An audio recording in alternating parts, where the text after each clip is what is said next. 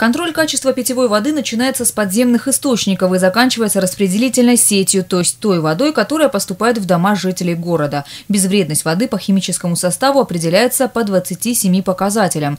Питьевая вода в Сочи – средней жесткости. Умягчить ее нет смысла, поскольку растворенные в ней соли кальция и магния играют важную роль в нашей жизни.